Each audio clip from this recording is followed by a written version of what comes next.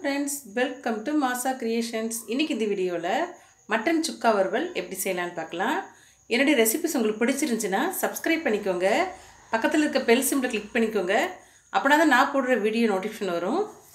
நம்ம சேனலில் ஏற்கனவே நிறைய நான்வெஜ் ரெசிபிஸ் போட்டிருக்கோம். பார்க்காதவங்க ப்ளேலிஸ்ட்டில் செக் பண்ணி பாருங்கள் ஃப்ரெண்ட்ஸ் மட்டன் சுக்கா வறுவல் செய்கிறதுக்காக ஒரு மசாலா ரெடி பண்ண போகிறோம் கொத்தமல்லி விதை ரெண்டு ஸ்பூன் வத்தல் நாலு வத்தல். நம்ம மிளகு சேர்க்குறதுனால வத்தல் கம்மியாக சேர்த்துருக்கோம். இதில் ஒரு டீஸ்பூன் அளவுக்கு பெருஞ்சீரகம் ஒரு டீஸ்பூன் சீரகம் ஒன்றரை டீஸ்பூன் அளவுக்கு மிளகு சேர்த்துட்டு இது எல்லாத்தையும் நல்லா வறுத்துக்கலாம். மிளகு அதிகமாக சேர்த்து சுக்கா செய்யும்போது ரொம்ப டேஸ்ட்டாக இருக்கும். அதனால தான் வத்தலை கம்மியாக சேர்த்துட்டு மிளகு அதிகமாக சேர்த்துருக்கேன். இப்போ இதை லோ ஃப்ளேமில் கருகாமல் வாசம் வர்ற வரைக்கும் வறுத்து எடுத்துக்கலாம். இது வறுபட்டோன்னே இப்போ வேறு பாத்திரத்தில் மாற்றி ஆற விட்டுக்கலாம். இப்போ இதை ஆறினோடனே மிக்சி ஜாரில் சேர்த்து நல்லா பொடி பண்ணி எடுத்துக்கோங்க. இந்த மாதிரி குறகரப்பாக இருந்தாலும் பரவாயில்ல. இப்போ இது இருக்கட்டும். நான் அரை கிலோ மட்டனை முக்கால் வேக்காடுக்கு வேக வச்சு எடுத்திருக்கேன். ஒரு மூணுலேருந்து நாலு விசில் வச்சு எடுத்துக்கோங்க. பேன் ஹீட் ஆனோடனே மூணு ஸ்பூன் ஆயில் விட்டுக்கலாம். ஆயில் சூடானோடனே ஒரு துண்டு பட்டையை இந்த மாதிரி உடச்சி போட்டிருக்கேன். இதில் ஒரு டீஸ்பூன் அளவுக்கு பெருஞ்சீரகம் கொஞ்சமாக கருவேப்பிலை சேர்த்துட்டு இதெல்லாம் பொரிஞ்ச உடனே ரெண்டு பெரிய வெங்காயத்தை பொடுசாக கட் பண்ணி சேர்த்துருக்கேன். அதையும் நல்லா வதக்கி எடுத்துக்கலாம். வெங்காயம் நல்லா வதங்கணும்.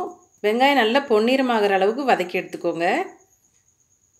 வெங்காயம் நல்லா வதங்கினோடனே இதில் ரெண்டு தக்காளியை கட் பண்ணி சேர்த்துருக்கேன்.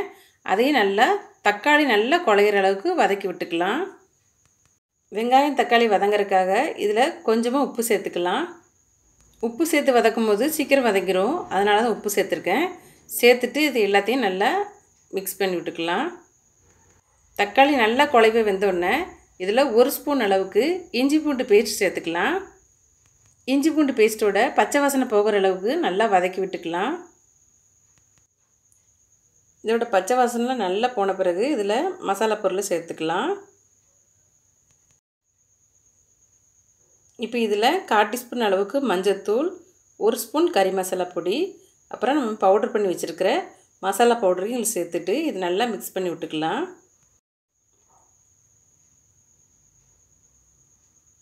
இது எண்ணெயிலே நல்லா ஃப்ரை ஆகிற அளவுக்கு மிக்ஸ் பண்ணி விட்டுக்கோங்க. இப்போ இதில் நம்ம மட்டன் வேக வச்சுருக்க தண்ணியை மட்டும் இதில் சேர்த்துக்கலாம். மட்டனை இப்போ சேர்க்க வேண்டாம். இதெல்லாம் நல்லா வத்தின பிறகு தான் மட்டன் சேர்க்கணும். இல்லைன்னா குழம்பு மாதிரி ஆயிரும். அதனால் முதல்ல மட்டன் வேக வச்ச தண்ணியை சேர்த்து நல்லா இந்த மாதிரி மிக்ஸ் பண்ணி விட்டுக்கோங்க. தண்ணி நல்லா சேர்த்துட்டு இது நல்லா வத்துற அளவுக்கு நல்லா கொதிக்க விட்டுக்கலாம். இந்த மாதிரி தண்ணியெல்லாம் நல்லா கொதித்து வற்றி வந்த பிறகு தான் நம்ம மட்டனை சேர்க்கணும். இப்போ இதில் நம்ம வேக வச்சுருக்க மட்டனை இதில் சேர்த்துக்கலாம். சேர்த்துட்டு நல்லா கிரேவியோட மிக்ஸ் பண்ணி விட்டுக்கோங்க.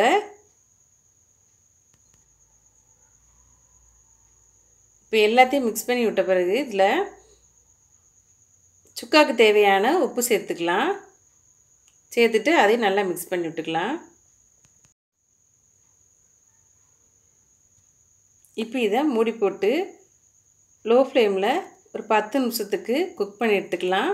மட்டன் ஏற்கனவே வெந்திருக்கு. அதனால் பத்து நிமிஷத்துக்கு மட்டும் லோ ஃப்ளேமில் வச்சுக்கோங்க. இப்போ பத்து நிமிஷத்துக்கு அப்புறம் ஓப்பன் பண்ணி பார்க்கலாம். நீங்கள் சுக்கா கிரேவி மாதிரி எடுக்கணுன்னா இந்த ஸ்டேஜில் எடுத்துக்கலாம். ரொம்ப டேஸ்ட்டாக இருக்கும். நான் ரோஸ்ட் மாதிரி பண்ணுறதுனால இது இப்படி அடுப்பிலே இருக்கட்டும் கொஞ்ச நேரத்துக்கு. அடுப்பை லோ ஃப்ளேம்லேயே வச்சுக்கோங்க. வச்சுட்டு இதில் உள்ள தண்ணியெல்லாம் நல்லா வற்றி இந்த எண்ணெயிலே நல்லா ரோஸ்ட் ஆகி வரணும். தண்ணிலாம் நல்லா வற்றிட்டு இப்போ இதில் கடைசியாக கொத்தமல்லி இலை போட்டு நல்லா கிளறி விட்டு ஒரு நிமிஷத்துக்கு அப்புறம் ஆஃப் பண்ணிக்கலாம். பாருங்கள் எவ்வளோ சூப்பராக ரெடி ஆகிட்டுன்னு வறுத்து அரைச்ச மட்டன் சுக்கா வறுவல் நீங்களும் கண்டிப்பாக வீட்டில் ட்ரை பண்ணி பாருங்கள் இந்த மாதிரி வறுத்து செய்யும்போது ரொம்ப வாசனையாக இருக்கும். டேஸ்ட்டும் ரொம்ப அட்டகாசமாக இருக்கும். கண்டிப்பாக ட்ரை பண்ணி பாருங்கள் ரொம்ப ரொம்ப டேஸ்ட்டான மட்டன் சுக்கா வறுவலை நீங்களும் கண்டிப்பாக ட்ரை பண்ணி பாருங்கள் இந்த வீடியோ உங்களுக்கு பிடிச்சிருச்சுன்னா லைக் பண்ணுங்கள் ஷேர் பண்ணுங்கள் கமெண்ட் பண்ணுங்கள் மறக்காமல் சப்ஸ்கிரைப் பண்ணுங்கள் தேங்க்ஸ் ஃபார் வாட்சிங் ஃப்ரெண்ட்ஸ்